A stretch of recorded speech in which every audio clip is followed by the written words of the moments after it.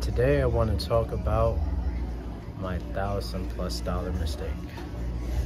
Kind of not mine, kind of like two in one, but nonetheless, mine is a thousand dollars.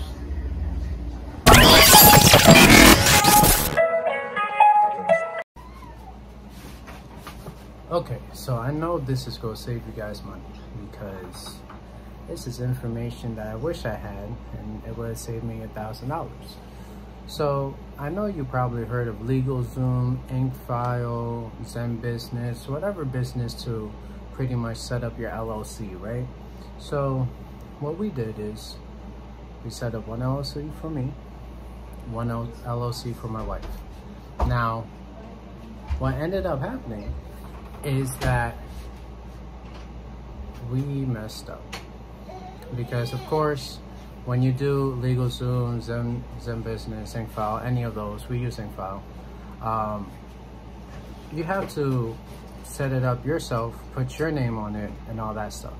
Now, when you do that, it's not a great corporate structure. Really, you're setting your business up incorrectly because when you set it up correctly, then guess what? Those businesses that you set up with your name on it yourself, garbage. You don't want to use those no more because you, you want to have what's called amnesty and privacy, right? You don't want people to know that you own the business. Even though you could tell them they, that you own the business, they still can't find out that you own the business. So anywho, we set it up, we set up two LLCs. I think it was like 550 for one. We expedited it. So it took like, what was it, a week? How, how long did it take? Like, like three days. So it was like three days expediting it, or we could have waited like four weeks to six weeks to, to get it done. And then um, the other one was like 450, so we did a New York one and a Texas one. Um, so yeah, so pretty Prices much. may vary as times were different. Right. It was like it was like two, three years ago that we did this.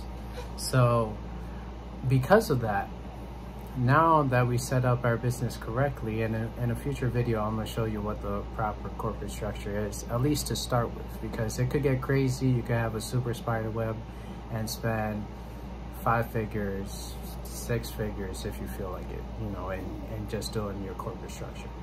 So the most important part is to get the knowledge of how to set up your business correctly. Because if you don't, then you're gonna make the same mistake, and maybe it not, may not be a thousand dollar mistake. Maybe it, it's a five hundred dollar mistake. Regardless of what it is, it's a mistake in itself. So you're not doing what I'm going to tell you in the next video, which is going to be about proper corporate structure. Now, of course, you need to have your business set up by somebody else, not by you. Because if you set it up, you're not going to have the privacy.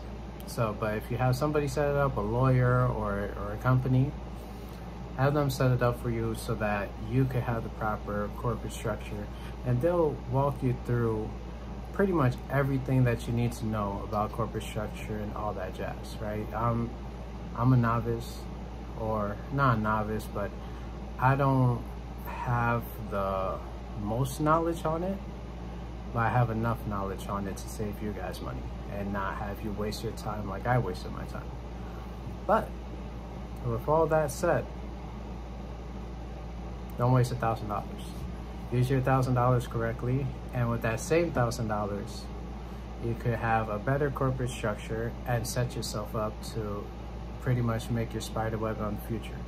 Now, when it comes to also buying other businesses, you want to have their LLC included in that as well because again, you you want your corporate structure to like eat up everybody else's LLC. Even if their name is on it, it's fine.